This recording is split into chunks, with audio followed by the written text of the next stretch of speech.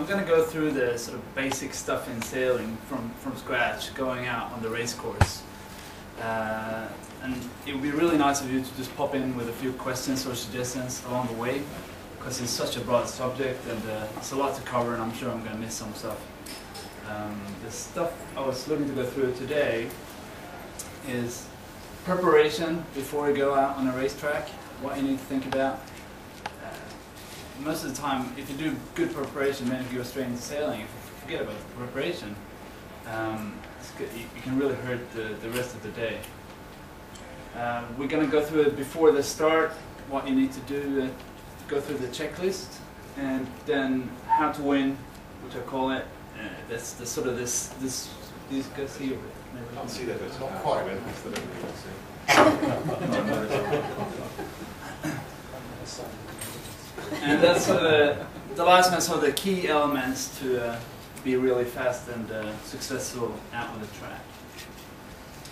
So if you just play along in a scenario on a race day, say uh, uh, any good uh, Saturday down at the yacht club, what I do when I go sailing, I, I sort of plan it from when the start gun goes, and then what I need to do before then. It's pretty much like anything else in life, uh, but it's just makes everything a lot more easier. So if I want to have the start at 11 o'clock, I need 15 minutes to check the start line. I need uh, probably 30 minutes to sail the first beat. I need a couple of minutes to, to get myself ready in the boat. Uh, and then I really go down into detail. So I really have a time when I leave the dock, because then that means that I can muck about on the, on the dock before I go sailing, so I can hang out with my friends and all that. But if I set a time, uh, that's when I leave the dock and that's when the boat should be ready. Uh, if you sail a laser, that's quite easy. You can control everything yourself. But if you sail a big boat, say 10, 15, 20 people on the boat, uh, you need to make sure that everyone is on the same page. So if you send out this, this schedule so that the day before, uh, everyone knows what to do. You can see my schedule goes all the way down to sort of leave my apartment to, uh, to make sure that you get a copy of this? Uh, you can It's- get a copy of this. Yeah, I think it's on the Uh, website. Yeah, we'll, we'll take a PDF and we'll also get the video on the, on the website as well. Yeah, so no need to take notes. um, crew rules on a boat. This is the sports boat, the Longtze. But on any type of boat, it's pretty much the same crew rules. Uh, if you sail in a double-handed dinghy, you basically got the bowman, and he's doing a lot more work uh, towards the back, and then you got a helmsman, who's doing uh, well. They might share the helm as a tactician, but then you got and the main. Uh, so the the helm might do the main as well, but then the bowman might do all the other jobs. If you go on a bigger boat, let's say Frank Pong's boat, he's got perhaps 20 people on the boat. And it's all the same tasks, it's just they need a little bit more manpower. In Hong Kong, uh, I suppose most classes here we sail four, uh, four people in the boat. And you can see on this particular boat you've got the bowman, the trimmer, the main trimmer, and the helmsman. And the reason why we need to specify all these roles is that when you step on board on the boat, if you do the bow, you should control the bow. If you do the trimming, you should con- control the trimming. What I mean by that is, as soon as you come down to the boat in the morning, if you're the bowman, you should make sure that you know all the halyards run clear, uh, all the sheets are, are clear, uh, the, the is packed the way you want, and then going back to the trimmer, he needs to have his sheets ready. He needs to make sure you know everything in his area is good to go. So at the time you get to the race course, everyone knows you, you can go sailing straight away. Uh, I think an important thing in Hong Kong is that perhaps the owner is also the helmsman. He brings on a lot of new people, and maybe not everyone knows what to do. I think it's very important for uh, the helmsman to go around and, and, and show new areas, help out, because you really need everyone to be on the same page. You can't. It's not going to help when you start racing to sort of give uh, loud guidelines to people in front of you how to do it. It's better to just go through it um, before you get out there. When you uh, when you get down as well, it's important to you, you check the forecast. You need to know, of course, if it's a windward or a windward leeward race or if it's an island race. Uh, this is to set up the boat uh, with the rig settings and what sails to bring. So if it's a, if it's a light wind day, you're doing windward leewards. Maybe uh, if you're on a on a big boat, maybe you do need to bring the Code Zero or, or whatever you have, the, the heavy sails. You want to keep the boat really light, uh, and vice versa. If it's very uh, heavy wind, of course you need to have uh, all the thick, uh, heavy cloth in the sails. Um, but it's also not only sails. You know, you need to set up the rig. Uh, usually, I, I look at either light conditions, medium conditions, or heavy conditions, and then you sort of have your rig setting. I'm not going to go into to too much of the rig setting because uh, you can speak about that a whole night. Uh, but most of you that sail class racing, you can check with the, if you, if you haven't figured out your sail settings yourself, the rig settings yourself, you can talk to the sailmaker or you know browse the web and find all that. Um, but really, when you get down to the boat, the first thing you should do is set up the boat. Now clearly this can, can change during the day and that's why we've got the forecast there as well. So if you know it's going to be light in the morning, you might pick up in the afternoon. Uh, sometime during the day, you need to sort of uh, make sure you don't have the light wind configuration. You need to maybe find a happy medium where you're happy in both light and, and heavy. As I said before, uh, please flick in with questions all the time if, if, if I miss something or if you, you got any good advice of what to think about when you get down to the dock, for instance. so, I might have included tide in the previous one where you said check the forecast. yeah, I think especially in the harbour, it'd always be a good thing to check the tide. Yeah, Especially because sometimes it might take you a really long time to actually get to the start line if the tide's going to be against you. yeah. Oh, that's really good. Uh, it- it's a good point, and not only get to the start line, it also may affect where you want to sort of warm up, as I put on this list here. Um, I'll get to that in a few seconds, I suppose. Uh, but leaving the dock, when you leave the dock, you really just want to make sure the boat goes into race mode straight away. So, as you kick off, dock lines down, fenders down, and you know all sails up, jib up, main up, and go sailing straight away. There's nothing more frustrating than you know some people are ready to go racing, and some people are still trying to figure stuff out. Uh, of course, you know we go out and have a good laugh on a Saturday. Uh, we want to have a good chat and, and all that. But if you can get the boat ready first, then you've got plenty of time for that later. Um, this is my sort of checklist before the start. As I, I've put on the schedule before, you need to have a good 45 minutes an hour before you, you actually get racing. You always need to have a bit of a warm up. A warm up could be a couple of tacks, a couple of jibes, get the feel for the boat, you know, get back in, where, where did I leave it last weekend? You want to get into the same groove. Sometimes you want to pop up the spinnaker before you, you start, uh, especially if you have uh, new people that are maybe not sailed that boat before. You want to, you know, make sure everyone knows what to do, and all that takes a lot of time. Especially the bigger boat you got, it tends to take a lot uh, more time, all the maneuvers. You want to be able to check the boat speed. Uh, it's really, really crucial to get up to speed straight away. On a smaller boat like uh, like what we do here, in class racing, maybe you want to line up next to someone else to check it check it out. Uh, if you don't have the speed, you need to adjust your sail. You maybe need to adjust the rig. But it's really crucial you got the boat speed. If you don't have the boat speed, everything else is a lot more difficult. You need to give time. uh, If you're a helmsman, you need to give the trimmers time to do adjustments. On a big boat, on, a, on one of the big boats here, you got the speed dial, so you can easily see if you're you're up to speed with your old numbers. Remember what you did uh, in previous conditions, same conditions. Um, but always make sure the boat feels good before you do anything else. Normally, on a windward leeward, you sort of go straight to the start line, and from there you start work your way up because you want to, even when you test sail, and test sail for speed, you want to sort of stay within your start area or sort of the racing area. Uh, this is also to get a feel for wind shift and so on. But if you're in the harbor, it could uh, it could be occasions where the tide is so strong and the wind is so light. So if the if the tide is going out and the tide is going with the wind, perhaps you risk too much being sailing above the line. Uh, I remember just a year ago where we were only 50 meters from the line, and the five minute gun goes, and we just couldn't make it. we wasted the kite, we couldn't get back. The wind just died. But if we instead just, you know, started uh, below the line, uh, did our tacks and did our speed training below the line, then you can always easily drift up with the tide. Uh, you don't you don't want to fight the tide. um, when you when you got the speed, you want to do a couple of um, you, you want to try this the race course.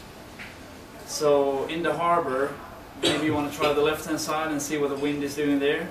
Um, if you sail here, if you sail in the harbor every weekend, you usually know how the wind sort of pans out.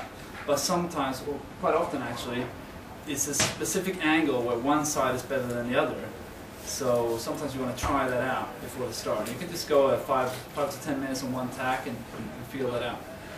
Even more so when we're out in, in Lamma, uh, a lot of you might be out there doing championships this autumn, uh, and you really need to test the racetrack. You really need to get sort of how the wind shifts are going, uh, probably time them, clock them, see how often they change, see what happens when you go to the right hand side, if the, is the wind lifting or uh, heading, and the same thing on the, on the other side. And, If uh, you- question. How, how uh, consistent is that likely to be during your race? Um, you know what? You can have a whole day with everything changing all the time. You can't really figure it out. But most of the time, if you do race, the first upwind, people can go different ways and no one really knows. But when it comes to the second beat, uh, 90% of all boats are going to go the same way because then everyone figure out where to go. So your task is to do that first beat before the start, so you sort of get an idea of where you want to go, and uh, hopefully no one else figures that out. So you have an upper hand. I think I think those of you that are training for championships over at Lamma as well, uh, so the 515s and Etchells, might be a good idea to start, as as Backe was saying, when you're looking at the, the wind shifts and uh, and what was happening around the course, make sure that you write it down in the waterproof notebook so that then you can refer back to that, um, you know, in after that, so you can. If you then get faced with the same conditions, you can look back at your notebook and see what worked or didn't work, um, and also note down rig settings if they were good or bad. Um, and then you start to build up a little black book of things that work or don't work. And then by the time you get to the championship, hopefully you've built up a bit of a, uh, you know, quite a, a good base of, of knowledge there to work from.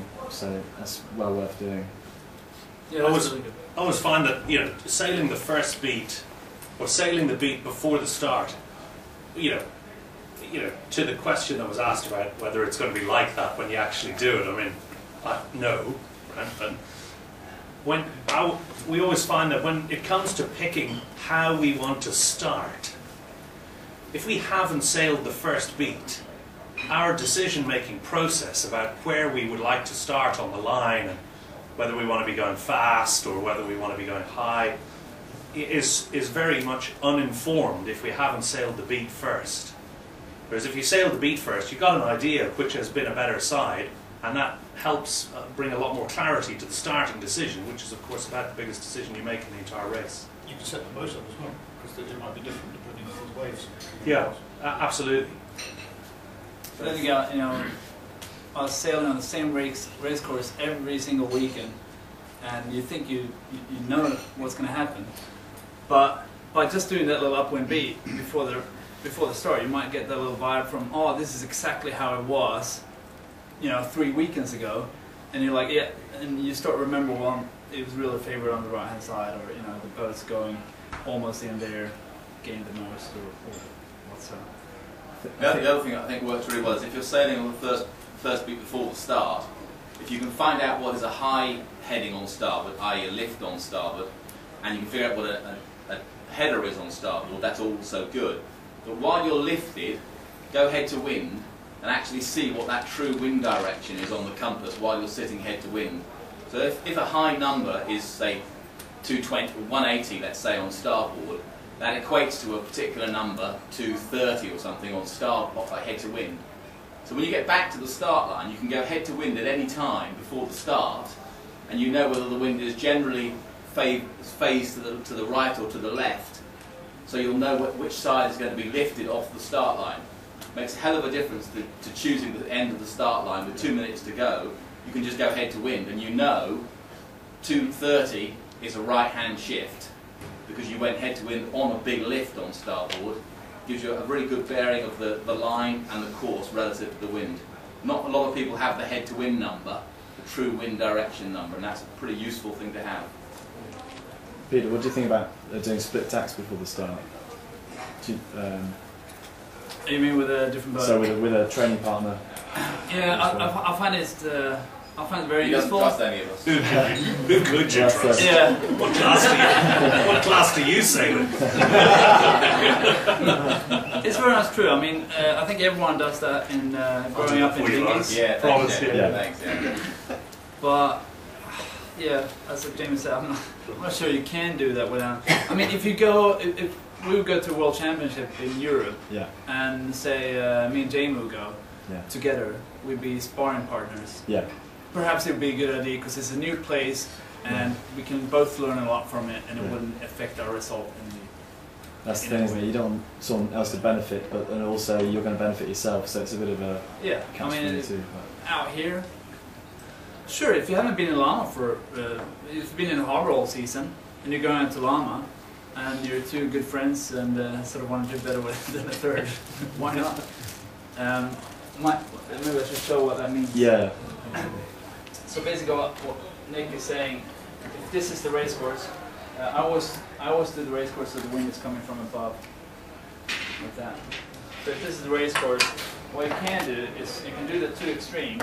You have one boat going this way, the other boat is going that way, and you both sail for about five or ten minutes, depending how long the race course is, and then you both you, got five minutes, and after five minutes you both attack, and then you can see uh, the one who's coming up in front, uh, if both got the sort of similar speed, that would sort of suggest that this course side, side of the course is favored. Now, of course, uh, if you're really into that, you wouldn't do like this. You would stop when you're here, so no one down here can see it. So yeah. As soon, as soon as it becomes obvious, then just stop. you Yeah, know that this one is going to cross, yeah. but from down here you can't see it until they actually cross. So you want to keep that a secret. God, good thinking, Pete. Hadn't thought of that one. Uh, what else? We're on we're on two, right? Yeah. Um, the third one is super important, uh, of course. And if you have uh, if you're not sailing by yourself, it's always nice to, to talk to someone else. If you're only two in the boat, let's make sure both of you know what course you're doing. If you're uh, boat with ten people, at least two or three should know what course you're doing. Because trust me, I mean, I was watching the, the Volvo Ocean in-port race in Brazil, I think it was, where the first boat goes around the wrong mark. so it happens to all levels, but it's pretty embarrassing uh, when it happens. So by knowing the by knowing the race course and confirm which one it is, it's, it's a good thing. I think it's you, Ross, that told me once that uh, the, the pilot thing, right? You always confirm two pilots what you're doing, and then you sort of eliminate all the mistakes, which is quite good to do in the You're sailing. come up with an independent solution to see Yeah. if they match or not. Yeah. Uh, but of course, as you figure out what course you are doing, everyone should know on the crew. Everyone should know if you're doing windward lures, two laps, or if you're doing a triangle, because everyone needs to know how they can prepare. Uh, after you figure that one out, you need to sort of put all the information together that you, you figure out.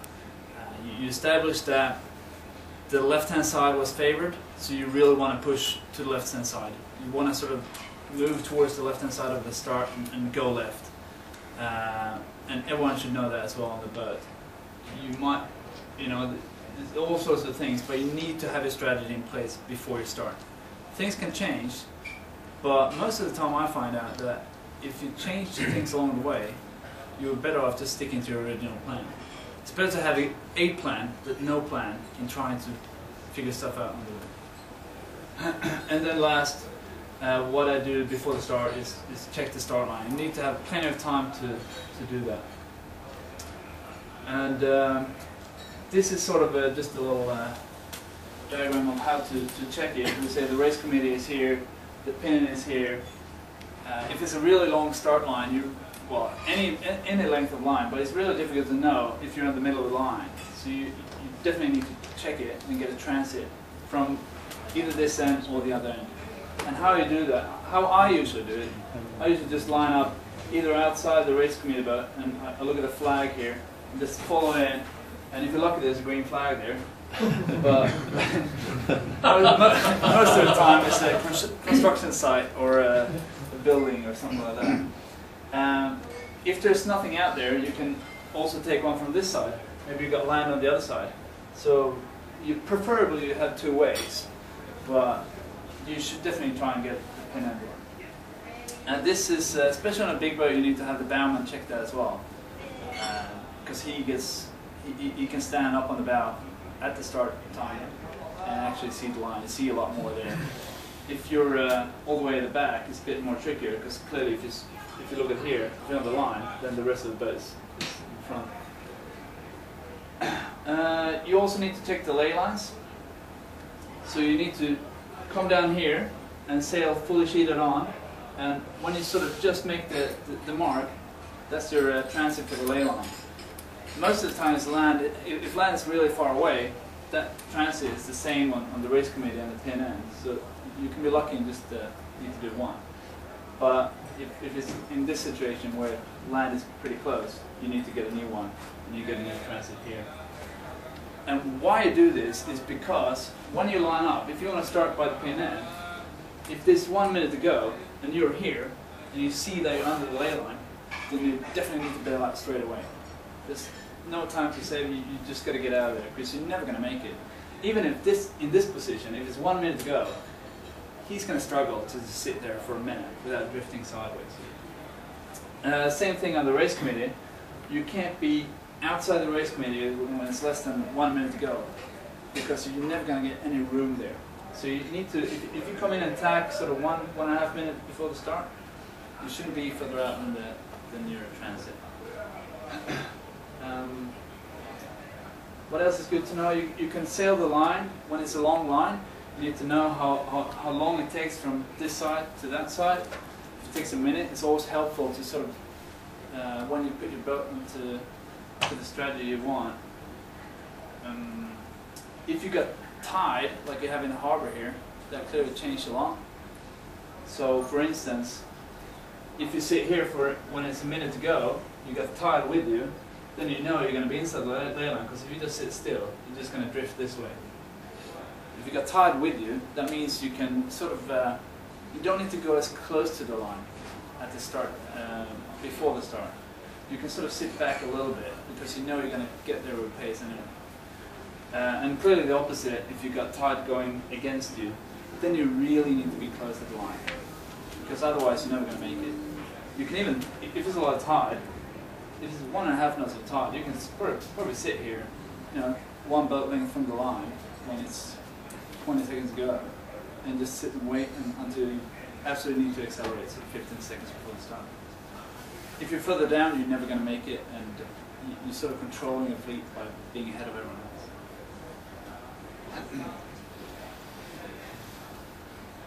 All right, so that's sort of that was sort of the preparations before the start.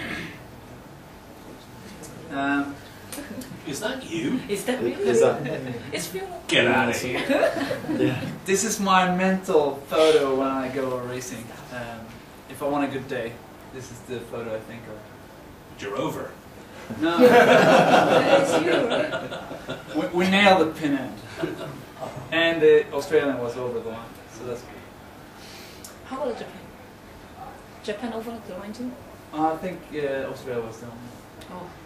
The photo is actually bigger. There's more boats behind.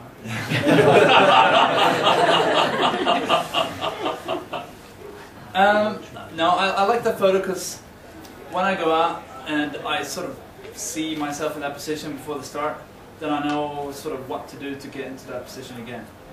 Uh, I mean, it's sort of the next level, I suppose, to visualize what to do, but it's always good to have uh, a nice moment before you get in there. Um, so how to win? There's, I'm sure there's several things, but these are the main things that I think uh, everyone should think about to, uh, to be able to do a good result.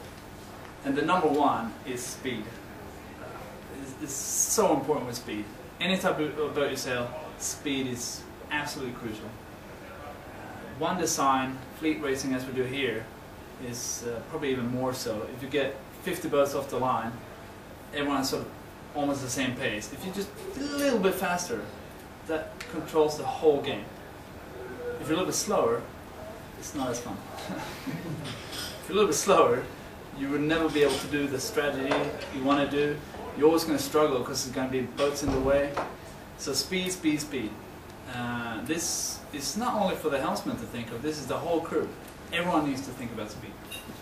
I think also if you get a bad tactic, obviously if you've got good boat speed, it's much easier to recover from a bad tactic. Um, and um, so that's another reason why it's so, so important, Always important. always important. Uh, second one, if you're, you're sailing a bigger boat than a, a laser, uh, crew work is obviously very important. Um, sailing's got the bad habit of uh, sometimes putting too much thought into the helmsman and tactician, whereas if you sail with a really good team, every role on the boat is important. Not because uh, you know if you if you're doing mast on a big boat, you're pulling a piece of string, but that's not all you do you can do heaps more things. You can make sure that the boat is balanced. You can make sure the crew is at the right place. You can call the winds. There's always tasks for everyone on board. So crew work uh, is super important, uh, and you need to you need to let everyone else decide within their area. You need to let the bowman decide what's going to happen on the bow. You need to uh, let the pitman decide what's going to happen in the pit. And the helm, on, on a good boat, the helm is just driving. It's doing nothing but driving. Make sure the boat is up to speed all the time, which sort of comes back to the first one. The third one is uh, is clearly important, strategy, um, but it's very difficult if you don't do the first two correct.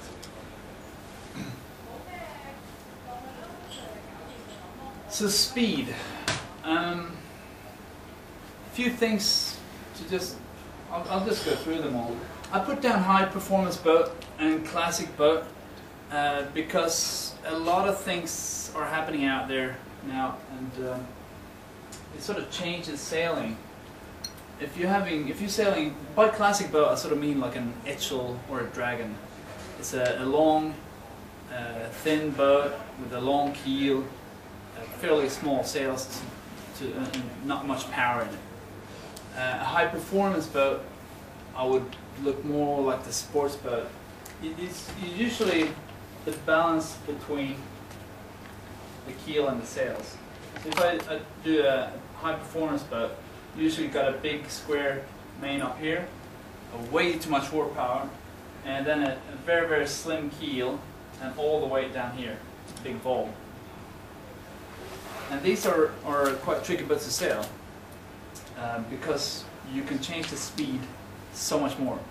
Uh, sort of a, in between classic and, and uh, high performance boat would be, I suppose, a J80 uh, would sort of fit into that range, where you still got a fairly wide keel and uh, not too big sails. Well, the kite might be a bit big, but upwind.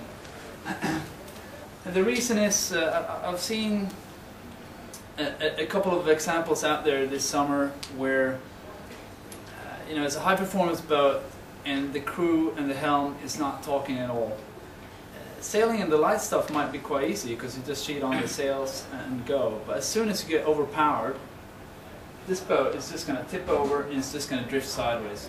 A high performance boat, you always need to have speed forward because to get the lift from the keel, because it's so thin, you need to have a, a good flow around the keel. Uh, if you have a long keel like this, it's not, you know, it's not that important. Um, it's less of a fine tune if you sail high or low, fast or slow on, on the classic boat. Um, so what should you think about if you sail a, a high performance boat or, or a J80 is if the wind kicks in and you keep the main sheeted uh, same as usual, the boat's just going to heel over, the helm is going to try and get the speed going, he's going to pull the tiller towards him and it's just going to get worse and you're going to start to drift sideways. Uh, what you need to discuss between the, the helm and the main trimmer is you need to, to ease the main a little bit to get uh, the boat a little bit flatter so the boat moves forward rather than sideways. if it's really windy, uh, say 20 knots or, or above, then it's not only the, the main trimmer, it's also the jib trimmer. I'm sure you've seen uh, a lot of boats out when it's windy. Uh, You can see the boat is heeling over plenty. Uh, the main is just flogging, and you got all the pressure in the jib. So the jib trimmer sits here. He's looking at his jib and he's really happy because it looks looks beautiful. He looks back at the mainsail and it looks horrible, and uh, clearly the boat is not going forward very fast. So because you only have the pressure on the jib, the, the jib is going to push the bow down. The helm is going to uh, push the tiller away, so he's going to come up again, and it's just going to start drifting. So you need to have a balance on both the jib and the mainsail, so all the pressure is sort of on the keel, and there's no pressure on the rudder. And any questions around this? Because it's, it's, it's a bit technical. and please feel free to freaking. And um, yeah, so sometimes when you, when you go out, people think sort of the main is the throttle, which it is. But to throttle on, to, to sheet on, it's not always going to make you go faster. Sometimes you really need to ease out to get the speed going before you can start sheeting up. Uh, so how much should you sheet on when it's well light wind is fairly easy. You just want to get the perfect trim. We're getting sort of a little bit into the trim now, but I'm just going to touch on it a little bit. Uh, so like when it, you just uh, you sort of sheet on until you see the sails look really pretty. And then you get the medium wind, the boat starts to heel over, and then all of a sudden you get more than medium, you get sort of heavy wind, and the boat is just heeling over even more. So what's this, how should you trim it? As, as a helmsman, I usually find it that there's an optimal heel angle on the boat. Um, I think that's sort of when we come into the feeling. Uh, each boat's got a different angle. Uh, as soon as you pass this angle, the boat is going to go slow, you're going to start drift sideways, and you, you, you're just never going to go as fast as anyone else. If you just start easing the sails a little bit at that stage, the boat's going to go a little bit flatter, and you're going to start moving forward. Uh, if it goes too flat, of course you need to sheet on again. And I think that's uh, I think that's the best indication of trim from sort of you know eight knots and above. You sort of just always work the balance. And that's especially on high performance boats. Uh, Dragon and Etchel, I suppose you can push them a little bit harder because you're not gonna. It's fairly small mainsails, and you're not gonna push it over the edge too much. And it's not. It's a, lot longer keel, which is not gonna make you drift sideways as much. But still, you always need to discuss with the crew members. Are we, are we sailing as fast as everyone else? You know how we're doing. Are we faster, slower, higher, lower? And constantly talk about speed, all the time. I, th- I mean, I think that's a really interesting point, Pete, because certainly if you come out of dinghies, or if you've done the training course in dinghies, all you ever get told is to sail the boat flat, right? And then you start sailing in something like an Impala or a J80 or something, and all of a sudden you have to sail the boat heeled, because if you let the mainsail out or the jib out until the boat comes upright, it doesn't work. And I, I've, I've found that that's been a, a difficult thing to explain. But that finding the heel angle that the guys that are seem to be sailing well, and then trying to copy that, you know, has always been a, a I found a very helpful, you know, guide, you know, in the spirit of back to basics. You know, whenever we're finding that we've got a tough groove. I mean, even the first day, It's Lawrence who's gone, but in the first day of Cowes Week this year, we went slow, and basically the only way we got back to speed was by copying the fast guy's heel angle, and it, and it does it really does work. That's a good point. Look around. What, what, what are other people doing?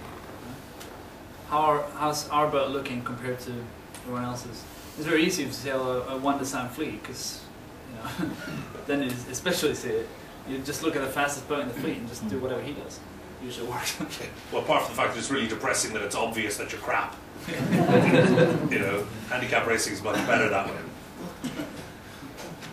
I think I think as, as you said, Peter, with the with the crew work, um, especially as trimmers, you've got to communicate, and you've um, as a helm, you shouldn't be having to feel too much on the rudder at all. Um, just a slight bit of weather helm, so it should be wanting to slightly head up to wind just a little bit all the time. If you feel that you're having to push too much or pull too much all the time, then your trimmers definitely need to do something about it. So, uh, as Peter said, you've, you've got to try and restore that balance. So you either need to depower something or power something up, um, and yeah, you need to find that balance point, and uh, and it's all through communication. A lot of it's all communication. Maybe I pushed a little bit too much emphasis on, on the medium to heavy air stuff now, but it's, it's equally important in the light stuff. Although uh, on on bigger, heavier boat, you usually have to think about other things. You really need to start thinking about where you put put the crew. Uh, you can put the crew, you can put the crew forward. You can put the crew backward. You can put the crew down to leeward or to windward, and it's it's really up to. You, you need to have one crew dedicated to sort of move everyone as a unit. You can't just all running around a little bit what you think is best. Is uh, usually like the mastman is great for that because he's not doing a lot on the upwind, so he can easily just see. You know, you can you, you can look at, at the bow knuckle here, this corner here. You can look at that one. This is it actually sticking down in the water, or is it actually pointing above the water? Same as behind the boat here. Most boats are designed so that it's, it's going to be really smooth behind the boat. Uh, J80 is a good example. Is if you sit too far back, you're going to get so much turbulence behind the boat. Actually, I'm sure you've noticed on all the modern boats, like the we got the big MC38, uh, the 38 footer with, with a massive stern, and that one is sort of designed to do very well reaching and, and sailing downwind and sort of skip through the water. But comes light wind and uh, upwind, you really need to move the crew weight a lot. You need to move everyone forward because you don't want to have that big stern in the water. And that's that's extreme, but it really helps to, to on, on most boats. Etchel, I don't know. I never figured it out because it looks it's a bow on both ends, but. of Peter, where does, the, where does the Fly 15 fit in this gradient from high performance? Well, yeah, I mean, you can. Flying 15, uh, look at the boat hole, it sort of looks like a. You you got the flat stern, so it's not like a dragon or an Etchel. Uh, so it comes light wind. I'm sure you need to move a little bit forward as well. Uh, and same as, you know, when the wind picks up and you're going downwind, you really need to move further aft, right? Uh, it's a fairly uh, small main and it's a fairly big keel, so perhaps uh, you don't need to play the mainsail as much as a, a, a big square top, but you still need to work it. Uh, I actually never sailed a Flying 15, but I can sort of compare it to the Magic, I suppose. Magic's got a big keel, a big bulb under here. And I tried to figure out what's the fastest. I tried to heel the boat over in, in big air to sort of get the keel to help uh, the righting moment of the boat. And that never worked. So I ended up sailing the Magic almost flat, which means that the keel is not going to help at all. It's just going to be drag and slow. But the boat is just so much faster sailing flat. And I suspect that the Flying 15 is similar.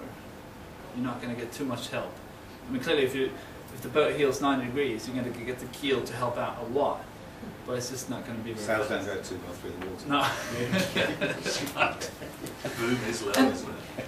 But you, you know, when it comes to you know angles and stuff, if if you don't know your boat very well, you really need to push the you know the ridiculous limits. If you're if you're uh, if you're new on a Platu, the club boat out here, you don't know where to sit. Well, try to move everyone really far forward. Sail for a minute, you know, get the feeling for it, and then you move everyone two three meters further back, and try that, and then sort of you know move back and forth until you sort of find where oh this is this is pretty good. You know, if you get on a new boat and you just start moving inches, it's very hard to find a good spot straight away. So moving extreme is quite good.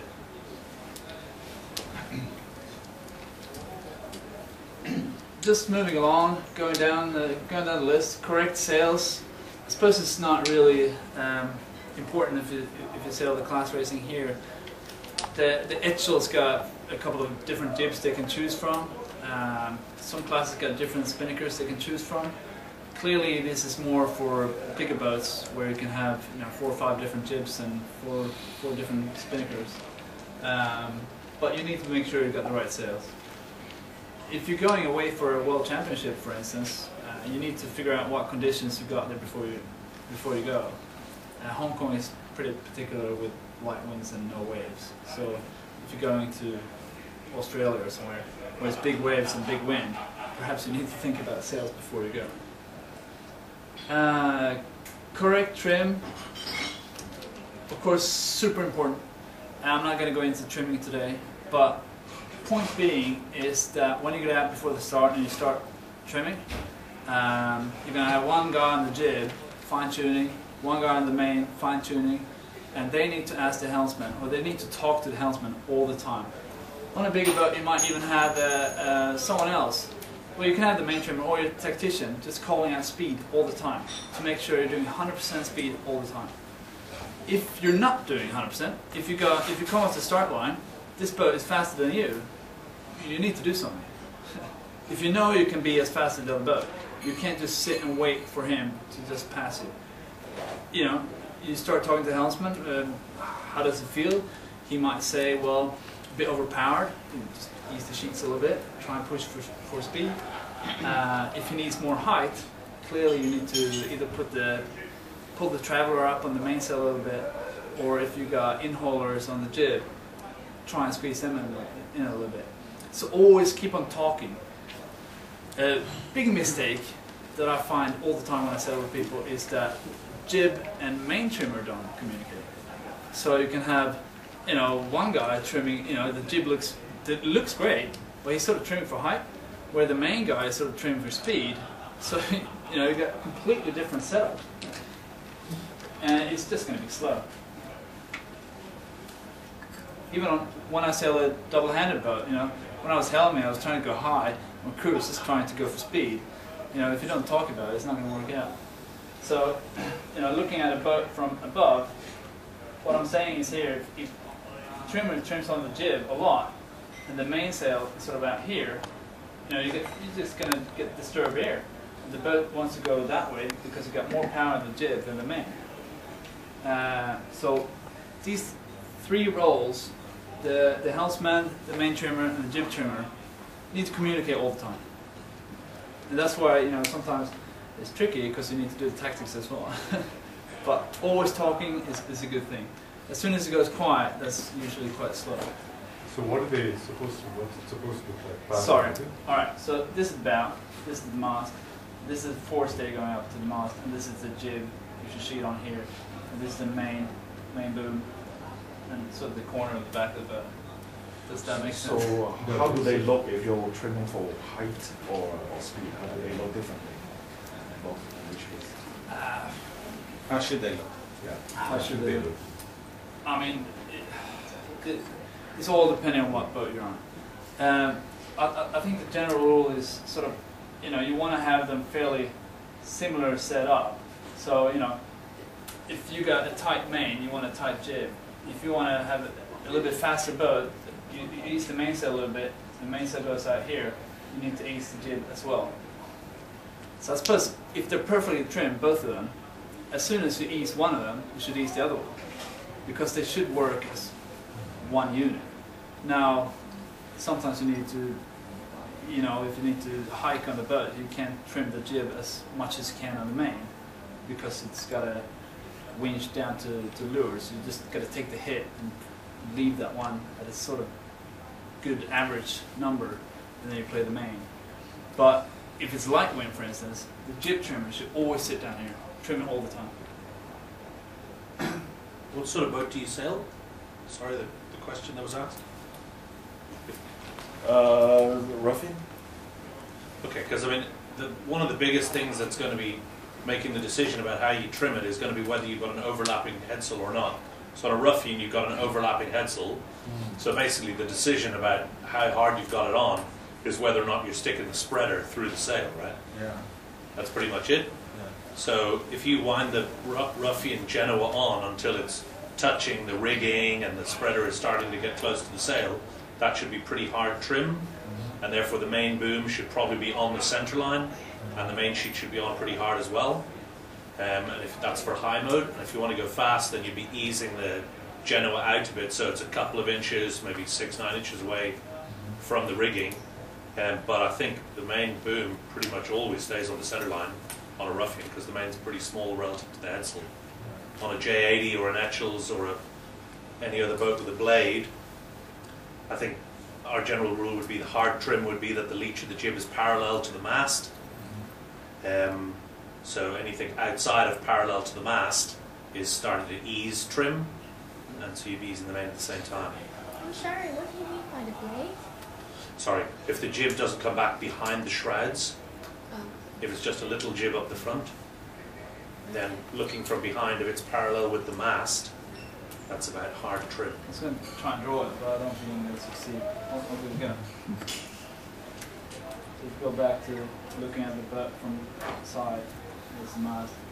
So you've got the forestay here, and overlapping, and and then you got the main coming down here. And overlapping Genoa goes probably down here, whereas uh, on, on Etchel or, well, Dragon's got overlapping as well. Etchel Yeah. or J80, jib usually goes down here.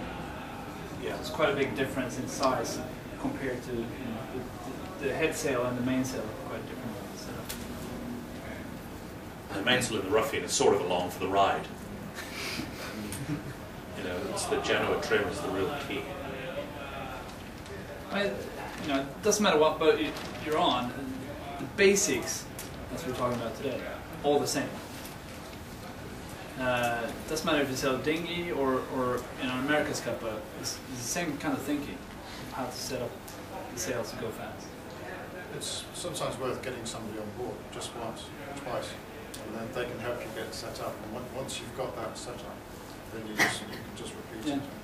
Then you know That's what a a good point, mode is, you know what a low mode is, you know what the normal mode Yeah. is.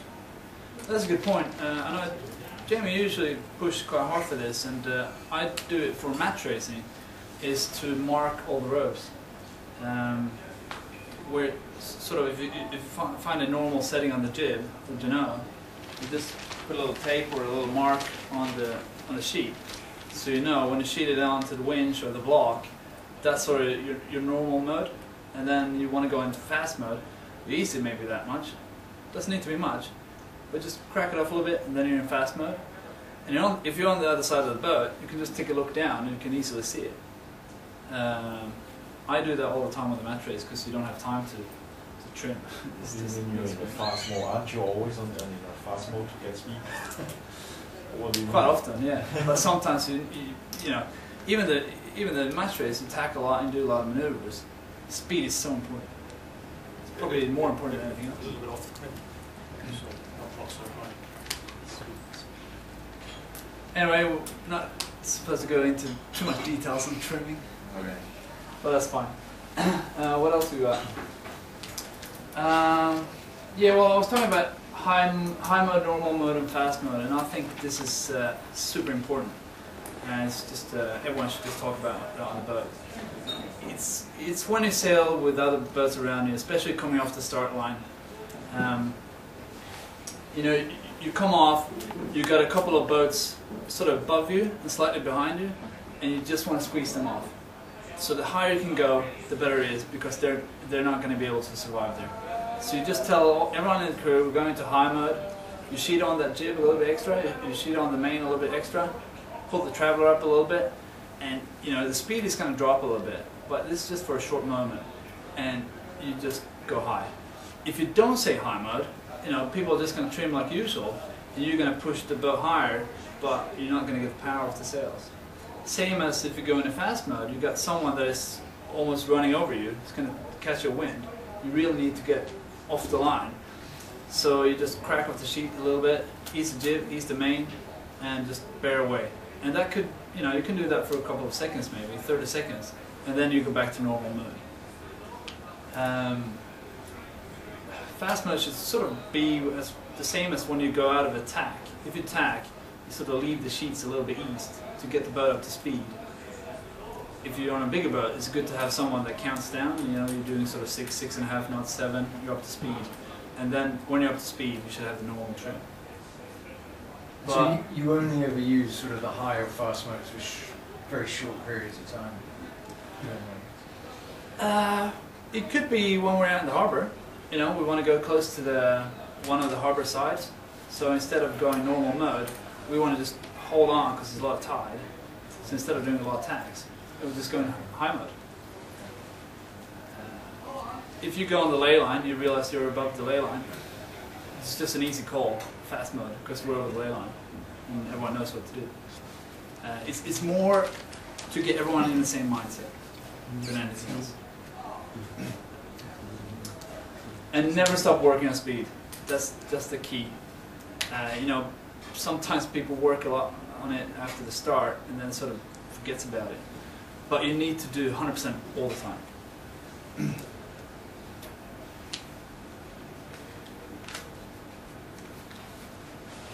Um, moving along to crew work, I think uh, we learned a lot by just doing double-handed. You know, two.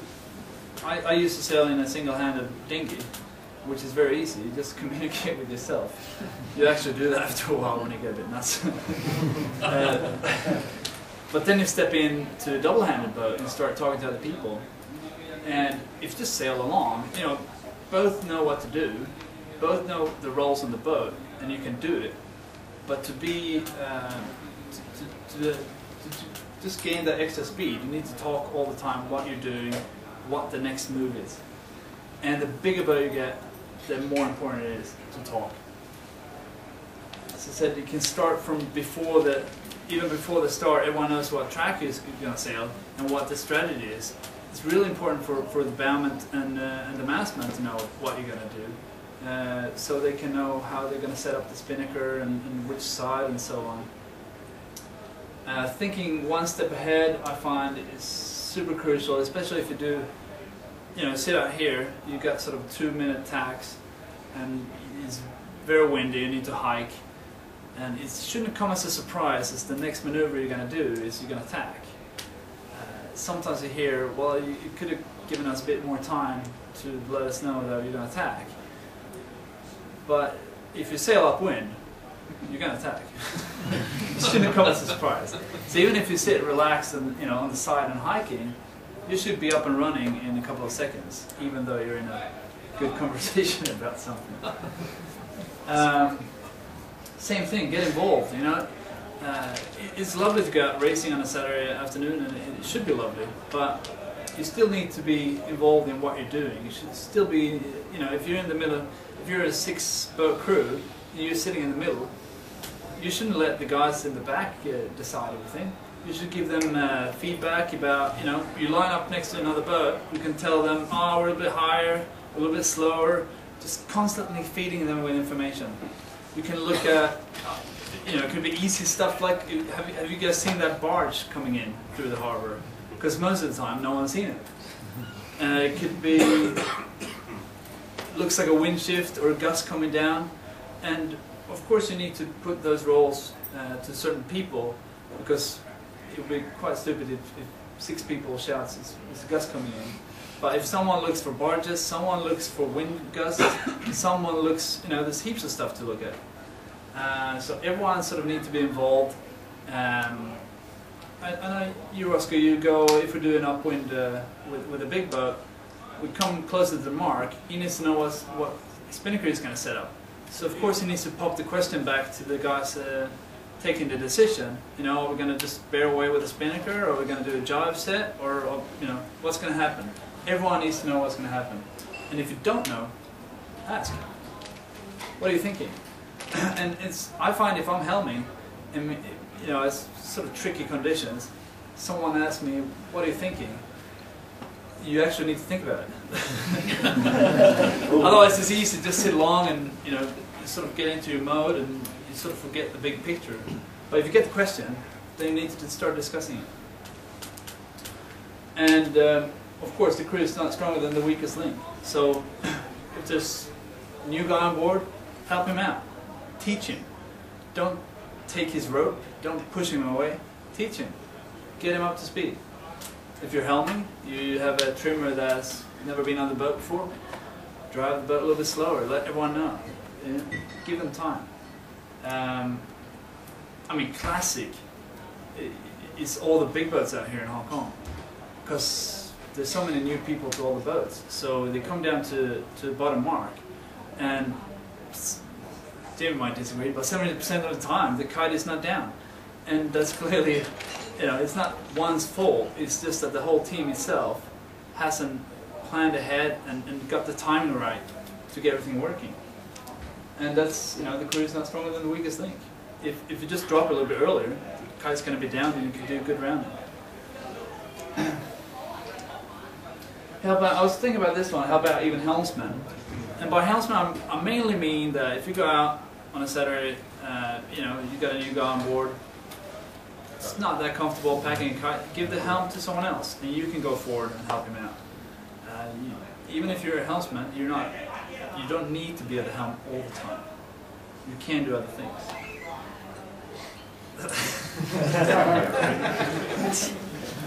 That's completely true, absolutely. I endorse that completely. Any questions so far?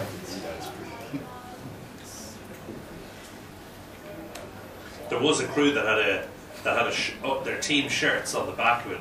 They had printed "Are you ready?" With a big question mark. This was like a, a semi-pro team, just simply for that very first point that you you put up there. Because basically you're sort of sitting there and it's you know you're halfway down the run. It's like you know whatever, and then you'd see on somebody's shirt you see "Are you ready?" You're like oh shit, what are we doing at the bottom mark? And you know forced you to think about it and get ready. It was it was quite cool actually. Nick it. Um, so that was the, those were the first two, uh, speed and crew work. Uh, the last one is strategy. It's not that important. if you got speed, you don't need to worry about that. Wow, we think we're going the wrong direction. Uh, no, of course it's important.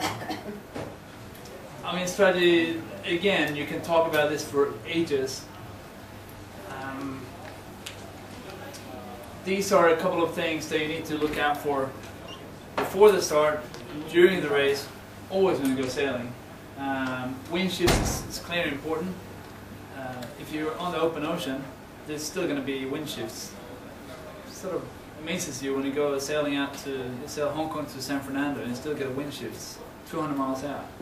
Um, perhaps those are quite difficult to predict, but if you're in the harbor, for instance, usually you know the wind shifts, you can time the wind shifts.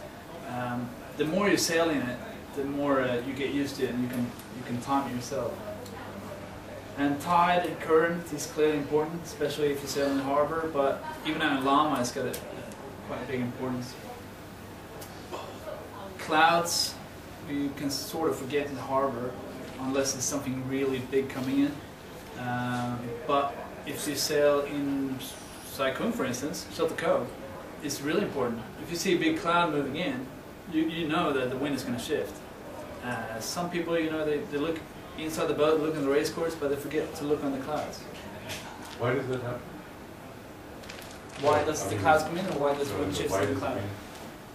Uh, the okay, not gonna try and make a fool out of myself here, but basically, basically you know, the clouds are building up, and they're sucking air in. When the, a, a big cloud comes, I mean, it's, it's many, many different clouds. Suppose most of the time in Hong Kong, you see uh, thunderclouds. That's the big one coming in the summertime. And in the thunderclouds, there's usually quite a lot of wind pressure in it, or actually getting pushed in front of it. So if a cloud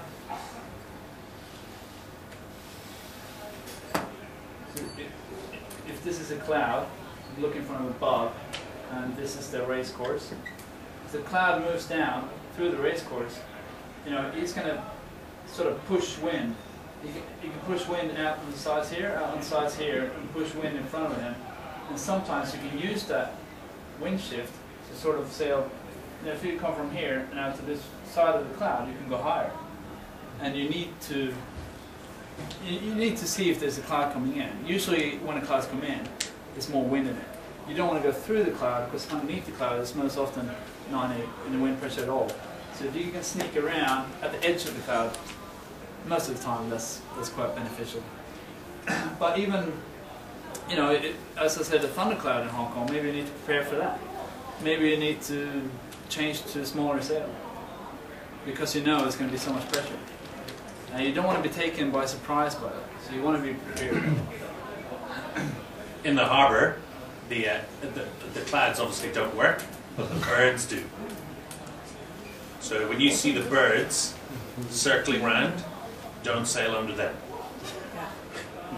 Because that thermal going. because it's just the thermal going straight up in the air. and There's no wind underneath them ever. So I mean, it's only the case for the next couple of months, and then March, April, May, but it's stone cold. Good. Didn't know that. Yeah. Another good uh, thing, looking at wind in, in the harbour. I mean, you See, that's the trap. some, it's, it's funny how you know the best sailors out there sort of forgets the easiest way to predict wind, especially sail in the harbour. There's so many different ways you can find out the wind. There's usually heaps of flags all over the harbour, on buildings, on boats, on well, probably shouldn't look at a boat that's moving, but boats that are parked, anchored, and you can look at the flags here.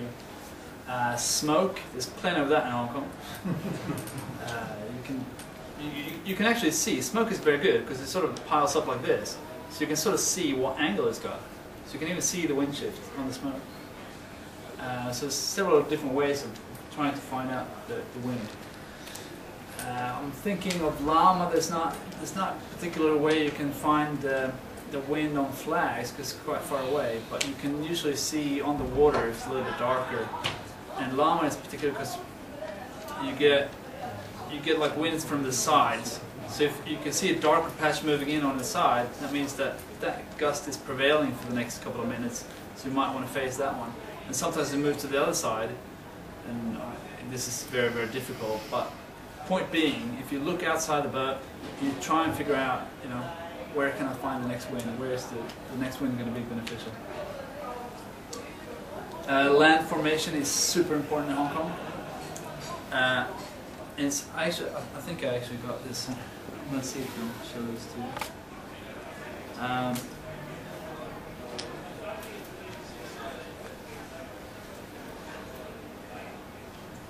this is. Uh, do you guys recognize this? It's the Lamma Channel here. This is Lamma. Uh, this is Stanley here. If you go out from in go sailing, all you see if you look at Hong Kong Island is just a big island. But you know, these days when you got Google Earth, it's quite interesting because you can see the formation here. You can see the mountains, and most of the, quite often we sail sort of within this area, the sort of what is this northeasterly wind. And just by looking at this map, you can see if the wind is moving across the mountains, here's a lot of mountains blocking.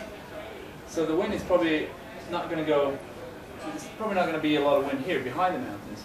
You might drop down a little bit further up.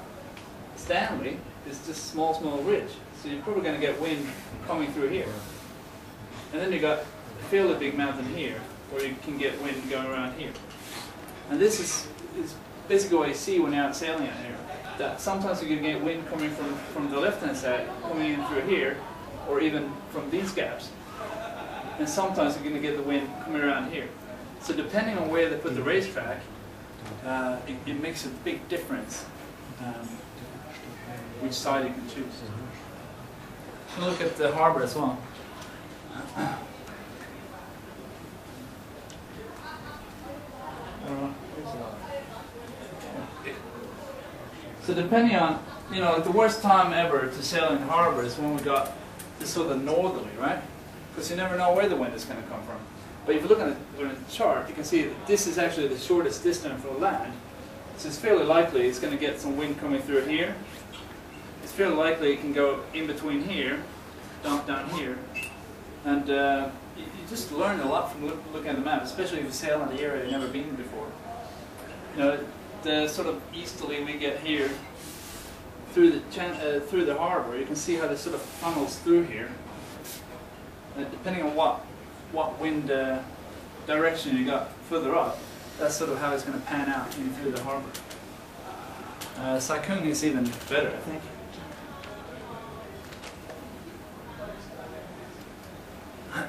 I think you, you got the same sort of classic wind direction uh, when we sail sort of out here. And I suppose it's, it's a bit more northerly when we sail here. And sometimes when they put the upwind mark on the left-hand side, you, really need to go left because you get that, that wind coming through here. Uh, I usually call this Frank Tong's corner because it always goes here.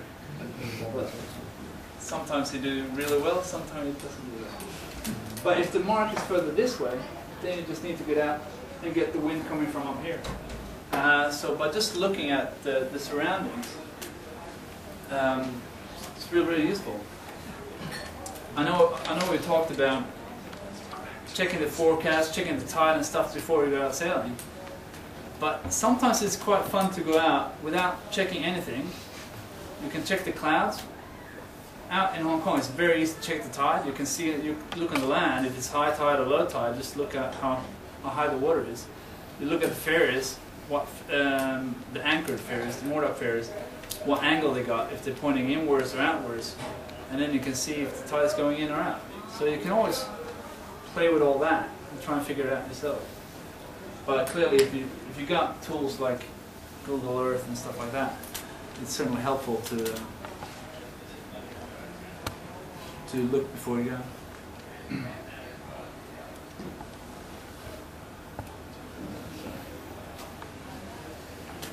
Yeah, in the harbor, I mean, we have funny things like prohibited zones, ferries, and barges.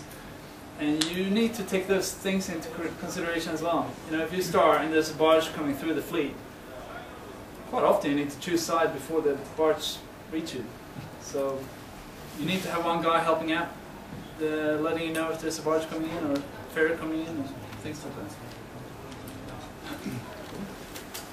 Any other questions on, on strategy? I mean, the, I'm trying to keep it fairly basic, but you can.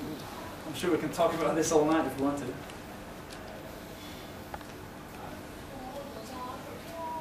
One more thing I actually got, which is uh, mark roundings. I thought it was quite important.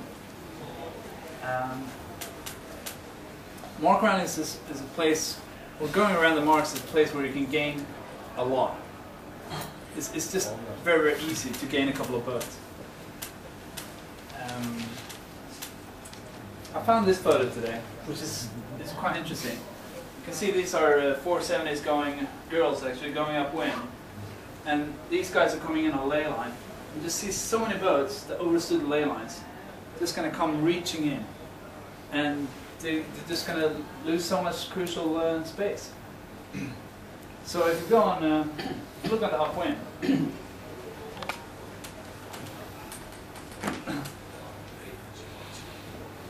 this is particularly important if it's uh, a lot of tide or if it's a lot of wind shift. This is the upwind mark again, wind coming down from above. You've got the lay lines coming out like this. There's heaps of different tactics to this. But if you go upwind, if you go straight from the start out to the lay line out here, you, you absolutely nail the lay line. Well, if it's going to lift, if the wind is going to go further right, you're going to be above the lay line. So then you're going to lose all this distance compared to other boats coming in, tacking underneath you.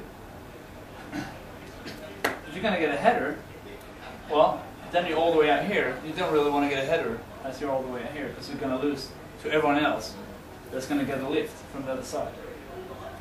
So if you really want to go all the way to the right, and you're way off the mark, you've got a long way to go, should definitely just tack inside the mark, inside the lay line, because if it's going to lift, you're going to make it, and if it's going to uh, head you, then there's probably going to be boats behind it that are going to get ahead as well, and you're going to be in front of them. So always give give yourself a bit of room there. And same goes exactly the same goes for the other side. Now, if we sail in a big fleet, a bit like this photo here, and you're sort of you did a pretty bad start, you're trying to get up through the fleet. Quite often, you're going to see. Should just draw. There's going to be you know, heaps of boats here. The lay line is going to be up here. Quite often, if you if you know you're not in the first ten boats, you can tack early, and coming in sort of you, you need to come in outside of three boat and so on. But come in and try and tack underneath people. Otherwise, if you're going to start lining up here this distance to the lay line could be you know anything from 10 meters to 50, 100 almost in, in big fleets. Uh, so there's a lot you can position your boat to gain you know, small small places through the fleet. I think what's important is if you're leading, it's all about covering the rest of the fleet. But if you're further down the fleet, it's all about gaining small steps at a time. Let everyone else do mistakes. The biggest mistake people do is they're trying to win everything back at once. And uh, you might have a lucky day, but it could equally go the other way around, so you're going to be even further back. So by just thinking you know, smart, trying to go through the fleet, two, three boats at a time, um, you know, eventually you're going to be up top 10 and it's going to be so much easier to sail. Coming around the mark, clearly you want to go as close to the mark as possible. But after, after the mark rounding, you get the choice. Um, maybe I should do this more spinnaker way.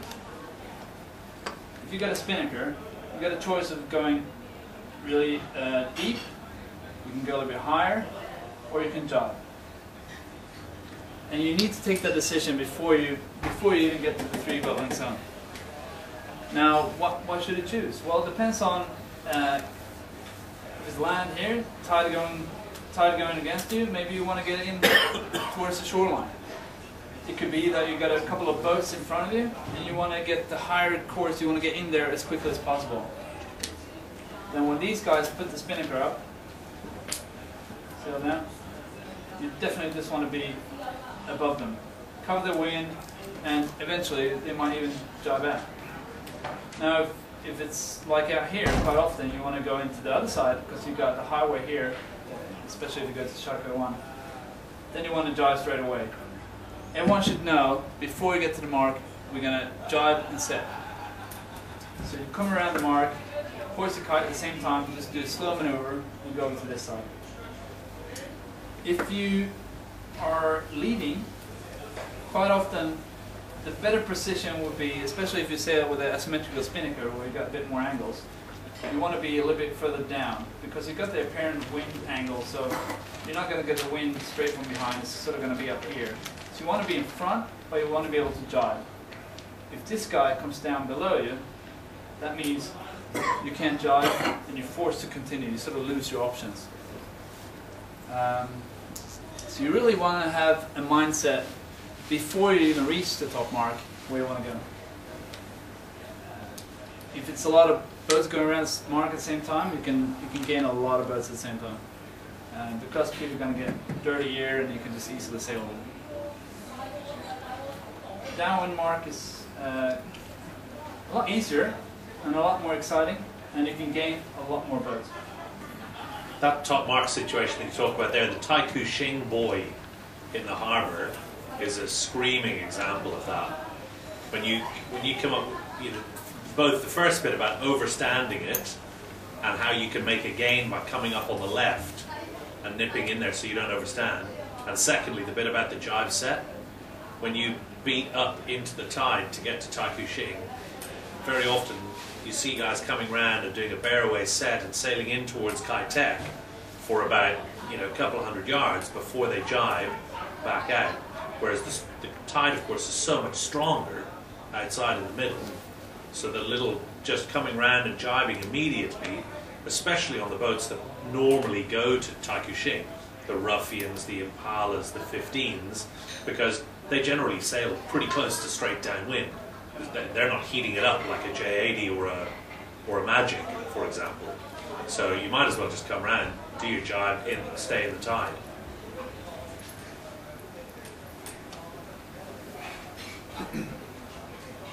coming downwind, normally it's just a, a normal port rounding around the mark. Go around like this.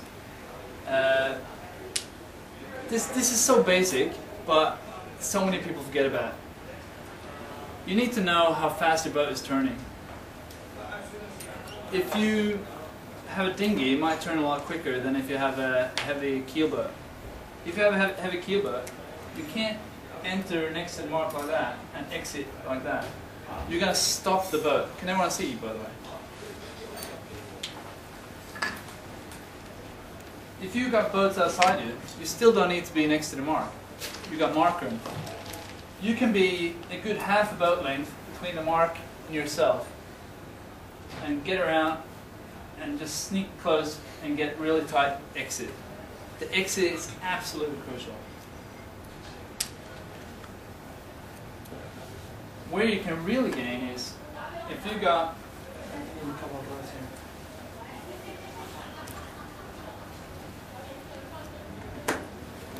It's all. Forget about the names. I think it's important. It's laser. Quite often you got several boats coming into the mark at the same time. If you're this boat,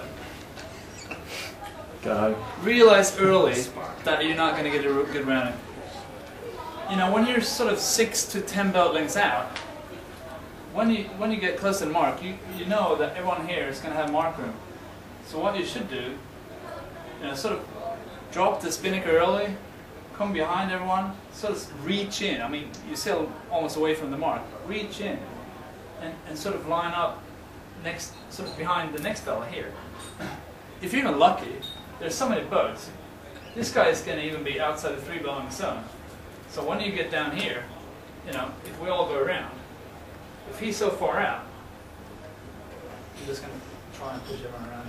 You can just sneak in and get a good rounding. You gain probably three boats at least on this round. It, I mean, it, it happens every weekend, but the exit is absolutely crucial. Doesn't matter if you're, you know, first to the mark. If you're fifth in the mark and get a good exit, you're still going to lead after the next step. Another good thing, if you if you know it's going to be tight, if you're a couple of boats here, say you're, you're sort of midway down to the mark, you got another two minutes to go here, but you know, as this boat is unlikely going to cross in front and not give these guys mark room. So, you know, give up early. Go behind people, come come a little bit higher, and try to put yourself in this position. You know, you, you, you're going to end up there, back there anyway, if you get into the mark. So you might as well get there early. If you're lucky, you can get good speed, you get mark room. Always try and aim to, to come in as the inner boat to the mark. Um, especially here, you're starboard as well. So if you're outside the three boat length zone, you're starboard, you can just push everyone out. But always try and plan your mark roundings to get a good exit. I think that's about it. In. Anyone got any questions? So, uh, you can do the gate as well, which even proves proves it even worse. How important it is to get to get the inner boat at the mark rounding. If we got four boats coming in here, sometimes we got ten boats coming in here. You got a tight gate. I can tell you what, being the boat in here is, is not very good. If you come, come you, you got marker on everyone. You just go around the mark, and in the middle here, you, there's actually no rules for this because he doesn't have any rights at all. He's got to give room to these guys. He's got to give room to that guy. You just got to slow down and sort of wait for everything to happen. This this situation, you just want to avoid that as early as possible. You can see this from you know two minutes out. If you come into a gate and you're up here, you're in the middle there. Do something about it. Slow down a little bit. Go on this side. Go on that side. Of course, if it's a gate, you, you, you want to you know already where you want to go. So if it's slightly favored here, or if, if you want to go left on the on the beat, then you're better off just you know go behind these two. At least you're going to get a good rounding on this one. These guys are going to get pushed out to the right. So you know you're probably going to gain at least two boats. And you know, drop the kite early, get everything nice and tidy before you go to the mark. This, you're going to lose a lot by sailing past the mark rather than dropping two seconds early and go 0.1 of a knot slower. You're not going to lose that much from going a little bit slower.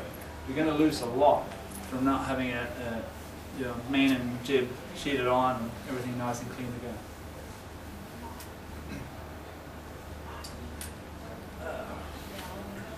I think that's about it. Actually. Does anyone have any questions, or anyone have uh, anything they want to talk more about? Any suggestions, or suppose your first example there, Yeah, where the green boat went round everyone, and there was a blue boat down here on the outside, on the down? on the down yeah. Um, couldn't actually get in there if you were within the three boat so could you go and get on so it's coming down like that, Yeah. and do this, but Well, you, you, you peeled the green one away, didn't you? oh, you go behind, Yeah. And Yeah. then when you got down here, yeah, you had three or four all rounding parallel, I guess. Yeah, something like that. Yeah. And then as they went round, you then brought the other boat in. I mean, you, you gotta be you, got, you gotta be careful from this boat because if this guy is still within three boat zone, uh, when you enter, there's no overlap. You don't have any rights. But if you just take it really nice and, and easy, uh, you know, if it's four boats, there's gonna be heaps of space. don't worry, because you know they're gonna they're gonna end up sort of in this situation. So as long as there's an overlap, unless he really slows down and try and go behind these guys as well, then you're just gonna do another slow down and be behind him. But even if he does a good rounding, you're still gonna get these two that didn't make a good rounding. So Peter, e- even if you slip inside him, um, and maybe it's a bit questionable whether it was two or three boat lengths, or maybe even a little bit more, but you're not sure. But you've slipped inside him, and it's caused no impact to him at all. Can, he, there's no problem. See you right? Yeah, yeah, yeah. And he can he can scream and shout at you as much as he wants, but if he's too far away to do anything, then Each, each has no room, and you can just go heaps room. right. yeah, unless you know there's contact, or he's actually gonna have to avoid you. Yeah, yeah, yeah. Then of course you don't have any rights. Yeah. Uh, a good thing to think about coming around like this is, you know, in the harbor, is it tied against us or is it tied with us? If it's tied against us, mm, probably be a bit more careful because even if you're out here, you might actually start drifting up towards the mark, and you might close the gap unex- uh, unexpectedly. But if it's tied with you, definitely go for the gap because there's gonna be one. Especially if it's light wind. Go for it. What's the worst thing that? um, you know, coming down as well, if you want to slow down a little bit, obviously you have to drop your spinnaker a little bit earlier. To slow down the boat, you know, if, you plan it early, you can sort of sheet on the main a little bit. You don't want to slow down too much though. What I find easier is just try and steer a little bit back and forth to sail a greater distance and still keep the same pace on the boat.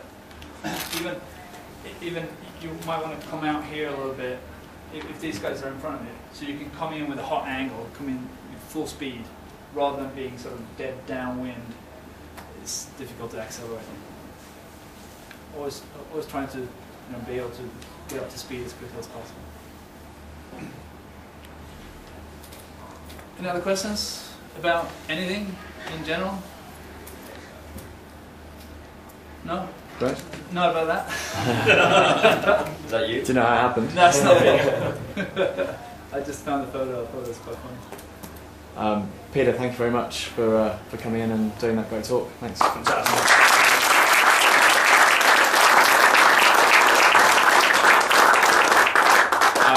this, this talk will be going up on the website uh, when Richard's back from uh, paternity leave. And um, we've got a talk on racing in Lamma on the 8th of October. And is it you, Jamie, or is it someone else? I'm, I'm unsure. I'm unaware of it. We've got some. We've got a Lamma expert coming in to talk about the Lamma race course, and uh, and that's on the eighth, same time, seven o'clock. So please come along if you can. Uh, if you're doing 15s or extras, then probably well worth coming to. Great, thanks. Thanks,